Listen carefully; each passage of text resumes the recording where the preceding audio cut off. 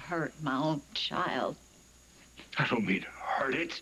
For God's sake, I get rid of it. Dump the mongrel off at an orphanage or something. Put it up for adoption. I don't care. There's no way. Well, you do that, and maybe we can talk.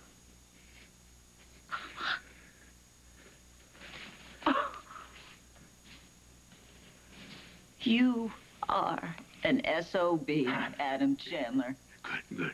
Thank you. Now we can uh, begin to understand one another. You know what my children mean to me. Yeah, well, obviously you've made your choice already.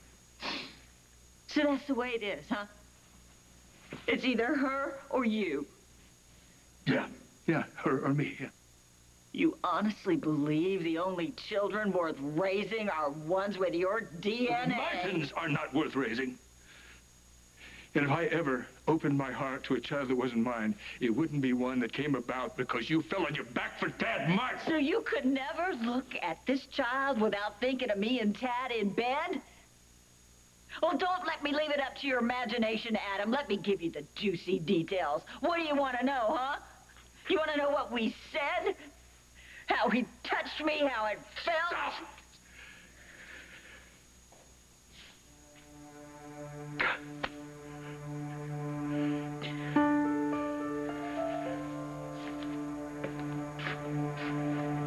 We're done.